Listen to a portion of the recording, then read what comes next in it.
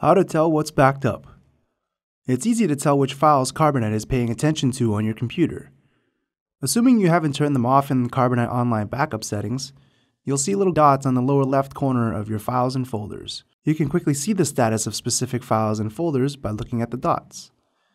An orange dot means a certain file or folder is selected for backup and is being actively watched by Carbonite. A green dot means a file or contents of a folder is selected and completely backed up to Carbonite. The half circle in a folder indicates that only some of the folder's contents have been marked for backup, and their backup has completed.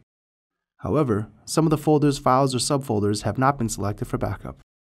If there's no dot on your file, it's probably not selected for backup.